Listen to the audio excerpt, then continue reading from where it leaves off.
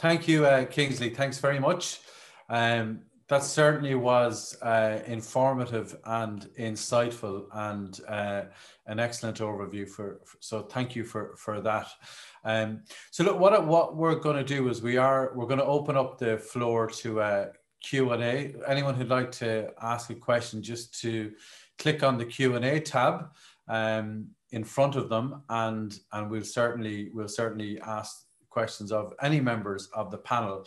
Um, so look, what I'd like to do is uh, just in the meantime, I'd like to uh, just bring in Gaby and Andy and um, and just ask a couple of questions about how things have been going for uh, the two guys. So, um, so look, Gaby is uh, an Irish international and uh, a member of the Scorchers team here in Ireland, and uh, you're very welcome, Gaby. And I know uh, today is uh, probably a difficult day for you because uh, you should have been playing Scotland today in, in La Manga, and unfortunately that series was cancelled cancelled for uh, for COVID reasons. Just uh, literally 20, 24 hours before it started. So, um, so look, I know that's challenging for for a lot of people, especially the players.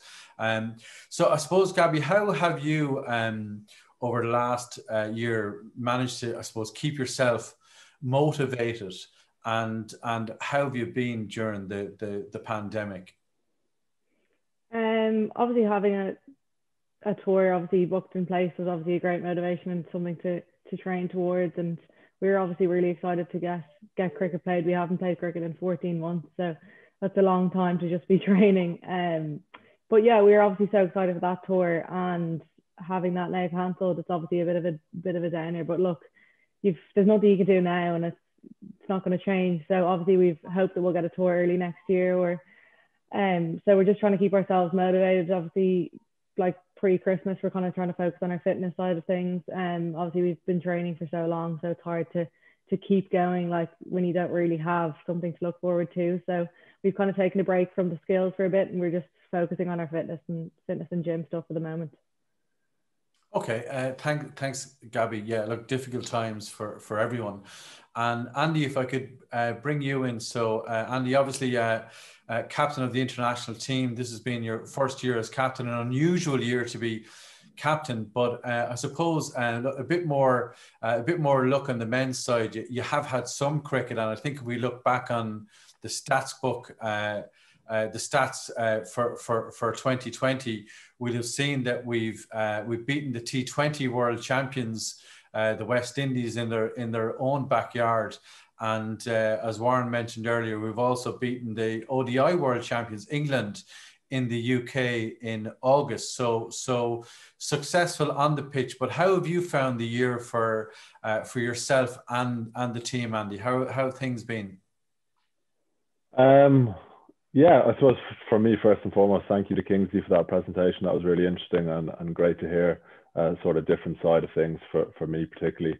Um, yeah, it's been challenging. It's been challenging for everyone, not just the, the cricketers, um, for the people in, in Cricket Ireland. I think what Warren said about how, how well they've got through this is, is almost like an inspiration for us that, you know, we just go out and play, but the people who are behind the scenes getting everything going um, so that we can play is a, is a credit to them. Um, I suppose looking back on it, um, whenever you do kind of have those days where you're you're feeling a bit low or you're feeling a bit sorry for yourself, you got to kind of realize that you know at the start of the year we were in Barbados, uh, Grenada, and Saint Kitts. Um, we were in India just before it all sort of kicked off, and in the middle of you know a huge pandemic, we got to play the world champions um, in front of a huge audience, albeit at home. Um, so looking back on it, yeah, it has been challenging that we haven't played much cricket, the cricket that we want to have played, but certainly looking back and, and seeing the performances we've had with a relatively new squad, a relatively young squad, an experienced squad, um, I think we can definitely be proud of what we've done this year. Um, and I think the whole organisation can be proud of, of what we've achieved this year, and, and hopefully it's a things it's a sign of things to come for the for the new year. Great, thanks, Andy. And you've certainly given us some uh, memorable moments and, and, highlights this year. So, um, uh, yeah, it's it's it's with, with, those, especially those two excellent uh, victories. Uh, so, so Gaby, just um, back to yourself. Looking forward to 2021, um, we are going to have uh, a World Cup uh, qualifying campaign. Uh, towards the end of the year, which we're, we're looking forward to. Uh, so, what would your, I suppose, your own hopes and aspirations be for uh, for you and for the team for the year ahead? Um, yeah, obviously we had been focusing on that because obviously it was meant to be in July of this year. So um, having that postponement to, to next year, it's actually we've got quite a young squad. So I think that extra year under our belt will do do us the world of good. And um, we've got some young young players, Orla Orla Prendergast coming in, and obviously now on a contract, which is brilliant. So it's obviously something to look forward to now, and having that in July set in stone um, is really really exciting for us. And obviously we hope to qualify, and that's that's what we our big aim is. Yeah, thanks, Gaby, and and look, we do uh, wish you the, the very best of of luck um, with that, and and look, a thank you to a shout out to Hanley Energy who've been great supporters of women's cricket for the last number of number of years. Um, so Andy, just back to yourself. Um, look, a big year for for the men's team as well. A huge year, uh, probably you know in terms of activity will certainly be I think the busiest year we'll have had so far. There's there's a World Cup uh, T20 World Cup, Cup coming up in India next November, and there's a number of very important World Cup uh, ODI qualifiers. Uh, so, what would be your own hopes um, for uh, the men's team next year? Um, well, first and foremost is I hope we play all the cricket that we're due to play. Um, that's the kind of the main aim for us. Um, I mentioned in an interview a couple of weeks back that uh, what I'm really looking forward to is playing in front of a home crowd. Um, you know, we haven't done it in such a long time, and we know how good the support can be for us when we're playing those home games. Um, we have that World Cup to look forward to in India, which is obviously a, a really amazing place to play cricket, um, particularly a world event like that. We have a lot of guys who haven't experienced World Cups or, or World T20s, so that'll certainly be a, a, an experience that I think could potentially bring the best out of some of our young players. Um, so yeah, look, we've got a really exciting year to look forward to these World Cup qualifiers and the 50 over stuff. You know, we got the 10 points in Southampton, but it's just important that we kind of build on that and, and make sure that that wasn't just a flash in the pan. So there's a lot to look forward to. Um, we, but at the same time, we've just got to make sure that we take each day as it comes, like everything, I suppose, at the moment, and, and make sure that the time that we aren't playing, we're doing all the right things to make sure that we put in good performances. Because I, I suppose talking about networking, the best thing for us as players to do for Cricket Ireland is to go out and put in performances and win games, and and therefore people take notice of that, and, and people want to get involved in that. Hopefully, so um, it's a big year for us, and, and hopefully for Cricket Ireland as well.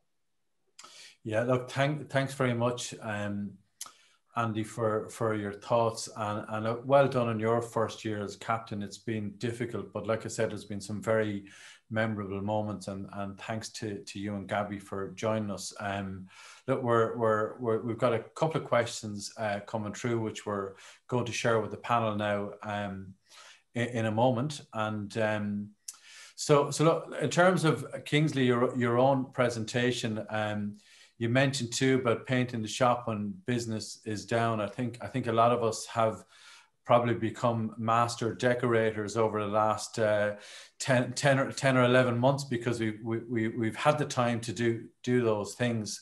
Um, and look, I certainly uh, did find your presentation insightful and, and informative, which uh, we, we, were hoping to do. So, so, so thank you for that. Um, I suppose a question I'd like to ask you is um, on the subject of networking, there's certainly some good takeaways coming from your presentation, but there are, are, are there any things we can do ourselves in terms of research, any good books that you'd recommend or, um, you know, work we can do ourselves to kind of uh, polish up on our own kind of networking skills? Yeah, well, I mean, I think the first thing of all is like, it's like uh, realize that the, it is an issue, and uh, you know everybody has to kind of make a decision. Am I going to am I going to spend time and energy doing this or not? So that's a very fundamental personal thing.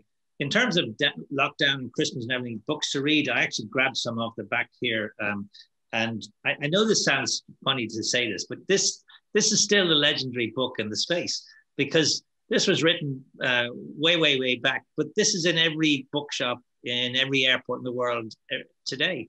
And, and this guy, Warren uh, this guy Dale Carnegie, you know, wrote this book, How to Win Friends and Influence People. You know, sold 30 million copies. It's uh, it's it's extraordinary. And what's kind of interesting about it is that what he says is quite timeless. So he said some really simple things. He said, the sweetest sound that anybody ever heard is the sound of their own name. How nice is that? He said, the smile on your face means, means more than the clothes on your back. He said, to be interesting, be interested. He said, you know, a really good question beats a really good comment. He said that when you talk about yourself and what you've achieved in life, people think you're a bore. But when you let somebody else talk about themselves and what they've achieved in life, they think you're a great conversationalist. So he said lots of slightly folksy kind of things, but they, they really stood the test of time. A more recent book that I, I read, uh, I think is, is worth a read, is um, this is called The Startup of You by Reid Hoffman. Reid Hoffman startup, set up a company called LinkedIn that we mentioned earlier. So he knows a thing or two about networking. Um, and he talks a lot about network intelligence and how you use your connections and contacts to build intelligence about the environment, the economy, the world in which you live in. So I think that's a good read too. Um, I didn't really get a, a, chance to, to dig into some of the skill sides of networking. And in particular, I think being a, a really great listener is the number one skill in networking. And we live in a world where most people don't listen. Most people think that listening is a sign of weakness. Most people think that you know speaking is a sign of strength, control, and power. Uh, most people are either speaking or preparing to speak. Um, most people are trying to wow us. Most people are narcissistic listeners. So, Dennis, if I say to you, you know, I'm thinking of buying a motor car, and you say, I bought one last weekend. The guy wanted 20,000. I got, got it for 10,000. So I couldn't give a shit about you and your car, but you've taken my story, you've hijacked it. And people do that all the time. So it's just the world we live in. So being aware of that is very important. So this woman, a woman called Nancy Kline, has written a book called Time to Think, which I think is a really great. And one of the things she says about meetings, she said, nobody has arrived at a meeting until they've spoken, which is a lovely thought. But uh, everybody has to speak at a meeting before the whole meeting can really get going. Um, so I think there are three good ones. This one, uh, this is a guy who's been at the Pendulum Summit a few times. Yeah, Keith Ferrazzi, Never Eat Alone. That's a very popular, it's a big seller. It's a New York Times bestseller book. So that's another one. So there's lots of stuff out there. Um, but like, uh, as I said at the beginning, it's just to recognize that this is an issue and then take some action. Great, thanks, thanks a lot. Um, uh, Kingsley. Look, a question, Warren, that that's come true for yourself is just um, it's around. Uh, Kingsley mentioned uh, the importance of India, and uh, I suppose the uh, common denominator that cricket is for uh, provides between Ireland and, and England. Um, so, the question here is, um, how would you see the this opportunity in terms of positioning cricket with government? Uh, you know, is there an opportunity for us to uh, strengthen links between both countries with cricket as a platform?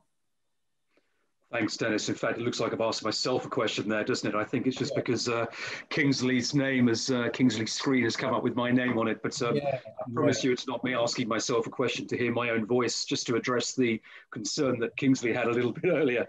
Um, Kingsley, look, thank you very much for the question and um, sort of echo what Dennis said. I've, I've had the pleasure and privilege of listening to you on a number of occasions now, and I, have always found it fascinating. You always manage to ground um, seems difficult or sounds difficult into very human and, and people related terms. So it's always fascinating to hear about that. To answer your question, um, we had the good fortune of inviting um, the former Taoiseach and soon to be next Taoiseach, Leo Varadkar, when he was um, he literally, Fine Gael had just come into office in 2011, and it was the time of the Cricket World Cup in India. And um, having really struggled to engage with any minister um, uh, hitherto, it's cricket, and oh, well, we're not really interested in hearing about that, are we? In spite of our, our number of efforts to engage with the Irish India Business Association, Enterprise Ireland, the Department of Foreign Affairs, um, hitherto we really didn't have much success.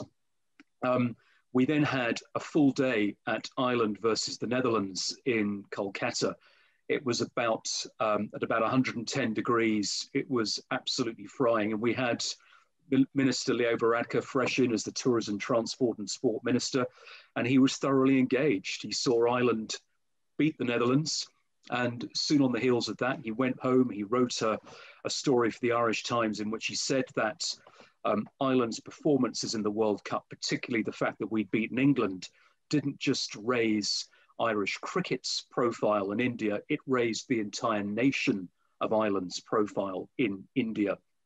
And it probably gave Irish cricket an opportunity to engage with him then subsequently throughout his career when he became Minister of Health, Social Protection, and then eventually Taoiseach.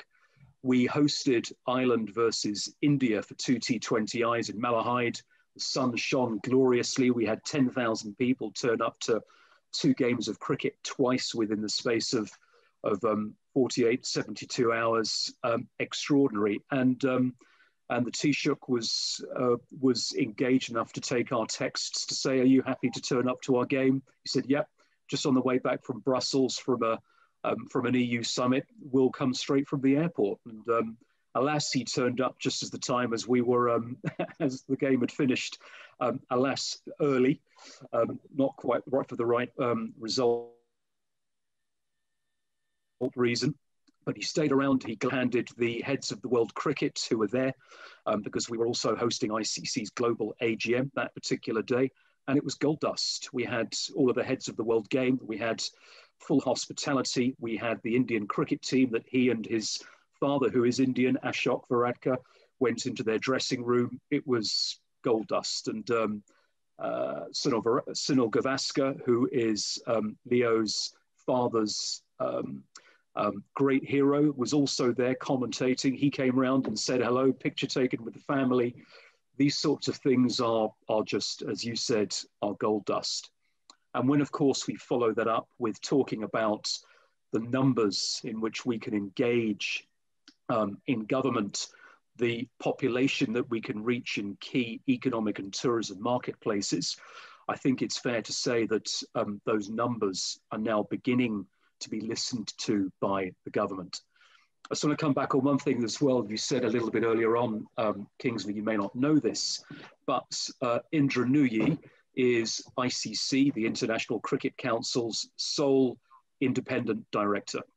So um, when you said that she was also the um, former head of the Ireland US um, uh, diaspora organization, um, that has now been double asterisked in my um, in my notes from your presentation. And interestingly enough, she was also taught by um, Franciscan um, Franciscan brothers. So there you go. When she was when she was growing up in India, Irish sorry Irish brothers when she was growing up in India. Yeah, if you go into the Irish Embassy in Delhi, there's this wonderful painting in the hallway of St Patrick's College in uh, Delhi which was the elite, the Eton, if you like, if it sounds contradictory, but of India. Some of the great leaders of India were actually taught by Irish priests uh, going back. So there's always been that historical connection and historical connection through the British Army as well of Irish people. Um, so, um, so yeah, I just think my sense is that you know cricket could be a catalyst, could be a could be a bit of the sort of a, a, a way of bringing the countries together. The, interest is phenomenal, and um, you know, some of our you know, some of our players are uh, better known in India than they are in Ireland. Indeed, and in fact, um, Kevin O'Brien, I'm sure all of our all of our audience would know. You know, certainly one of our, our foremost players after that World Cup in India. The Department for Education asked him to do some adverts in India and South Asia to try and get overseas students to come and study in Ireland. So there's there's already evidence, I guess, of the way that cricket is recognised in Irish government circles as a way to penetrate that marketplace in a way that certainly no other sport can. As I think I've said on a number of my um, my speeches in the past, um, the likes of Bono, Bob Geldof, Brian O'Driscoll, completely unknown in um, in India, but um, Andy Balbirnie, Kevin O'Brien, William Porterfield, um, they would yeah. struggle to walk down the streets um, un, unpushed around. Wonderful, wonderful, yeah. great story. Yeah. Thank you, thank you for for for that, Warren. And and I suppose that the same same certainly applies to a number of our sponsors who have relationships with India, uh, be it some of them who are based there, some who are working within the marketplace trying to break into it, and some who work with suppliers there. So, so certainly cricket offers those valued partners a platform as well. Um, so just some uh, some uh, questions coming in here. Um, I see Eddie Evans from Beecham's is uh, is in the room today. You're very welcome. Eddie, there's a question and there's more. I think the second one is more a comment uh, where you're uh, saying you're asking how come St Andrew School in Dublin, this is for and, Andy and Gaby, produces so many great cricketers. Uh, I suspect that you're possibly an ex-pupil yourself, uh, Eddie. But I think that's more more a comment uh, acknowledging the success of the school. Um, but the question that Eddie has for Kingsley is, I suppose, if you could pick one piece of advice, Kingsley, on networking, the single biggest tip you have, what would that be?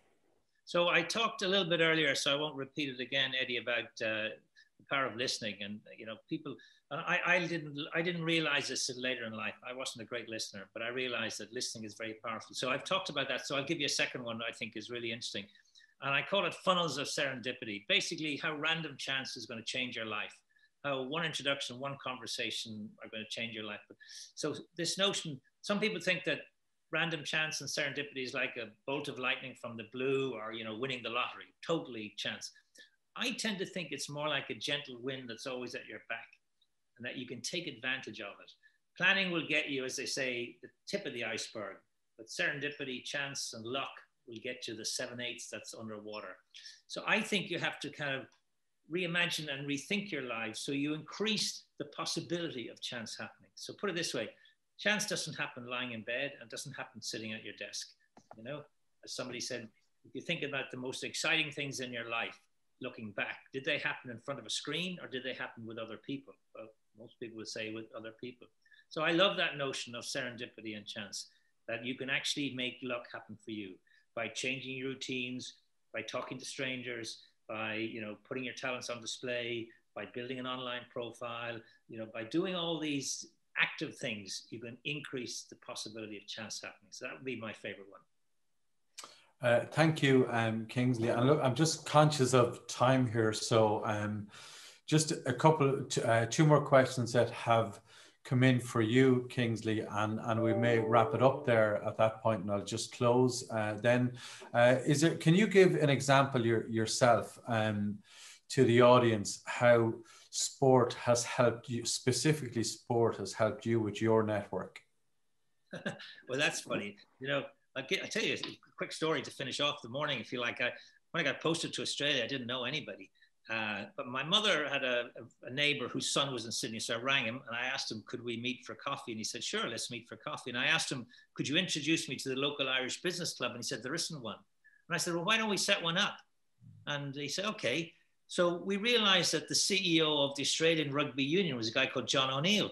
So I connected with John and he said, I'll host your dinner. So we 30 people for dinner. It was fantastic, really great. We discovered all these new people. So last year I was invited back uh, no, we called it the Lansdowne Road Club because we both played rugby. And then, in a spirit of sporting ecumenism, we decided to dr- drop the word road and just call it the Lansdowne Club. So last year, I got invited back to their 30th anniversary of that first little dinner, and there was 2,000 people at the lunch. It was the biggest Irish business network in the world. Nobody started a larger organization. This started from zero. When Ireland play Australian rugby, they play for the Lansdowne Cup. And so to me, that was that was my my great sort of breakthrough. It was fantastic to see this happen, but to, it increases because I I was trying to find somebody who would be would be the head of this organization, who would be a well-known name in Irish business, and and he'd lend his name. He didn't have to do anything, but lend his name to this organization. So I wrote to the guy I mentioned earlier. I wrote to Tony O'Reilly, H.J. Heinz Food Company in Pittsburgh. I was a total nobody, and he was a big CEO.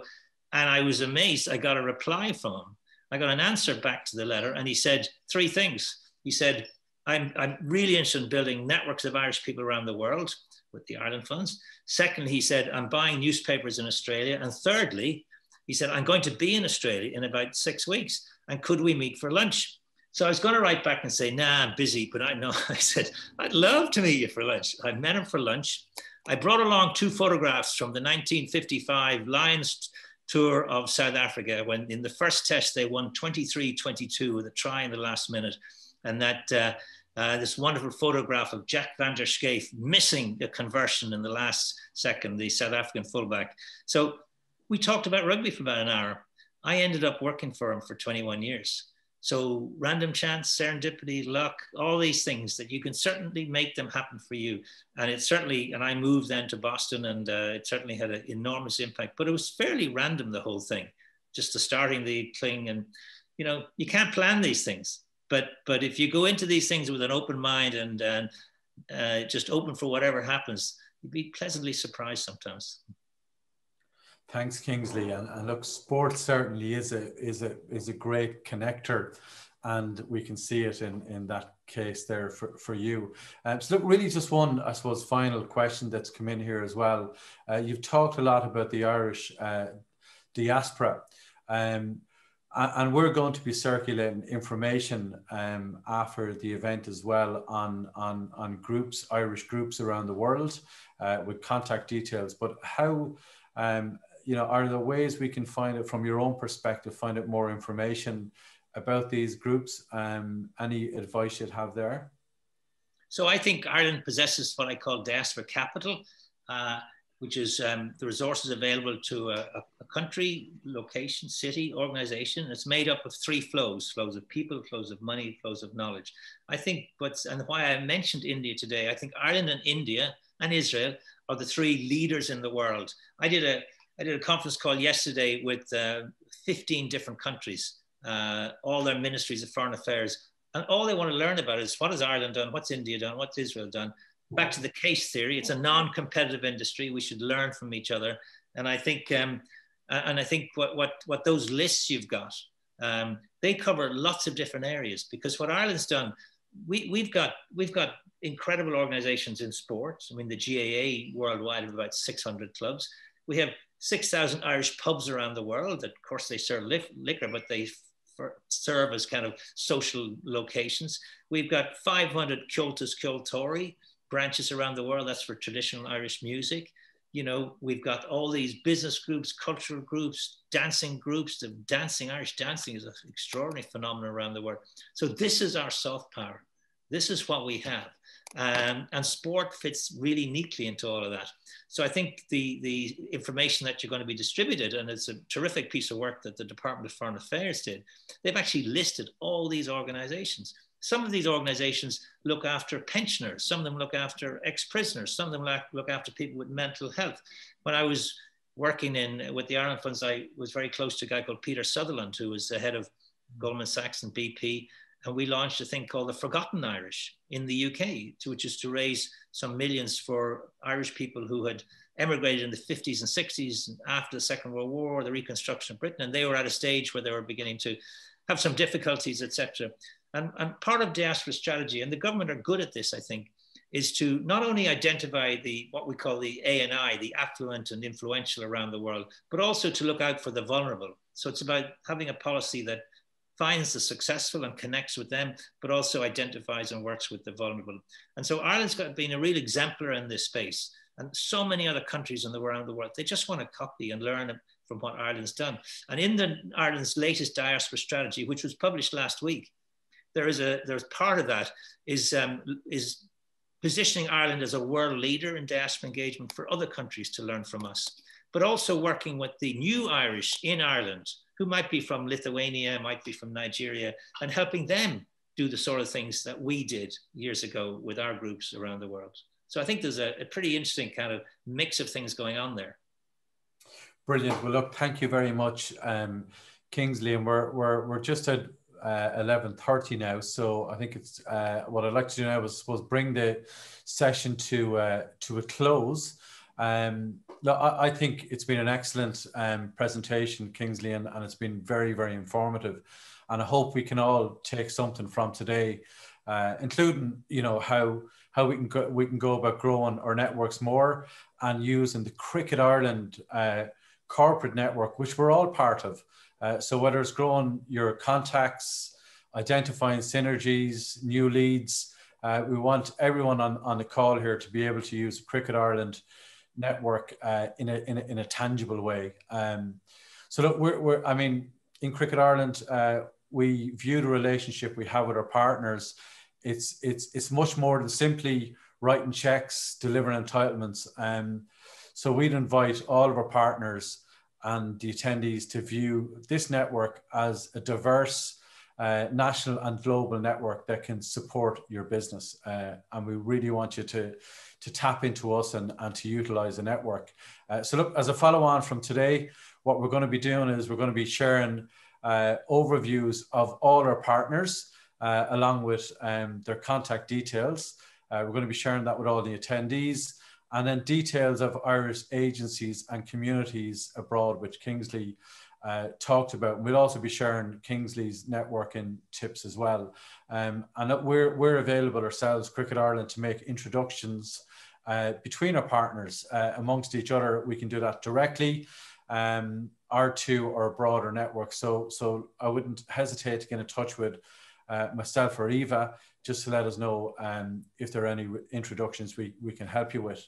Um, so that's really uh, all, all from today.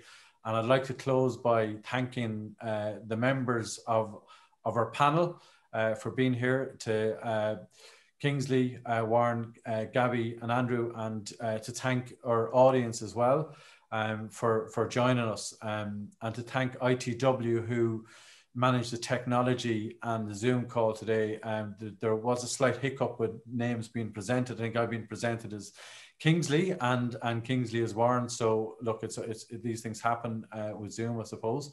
Um, but anyway, thank you to everyone for being here, uh, for being part of the conference, and we'd like to wish. Uh, all our partners, your staff, and your families uh, the very best of luck. Uh, thank you.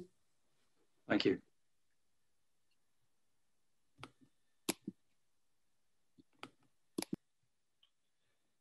Thanks, folks.